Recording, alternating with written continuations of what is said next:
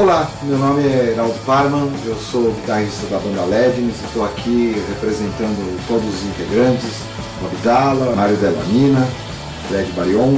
Estaremos nos apresentando dia 3 de setembro no Clube Itajubi, juntamente com todo o pessoal da Rock and Roll.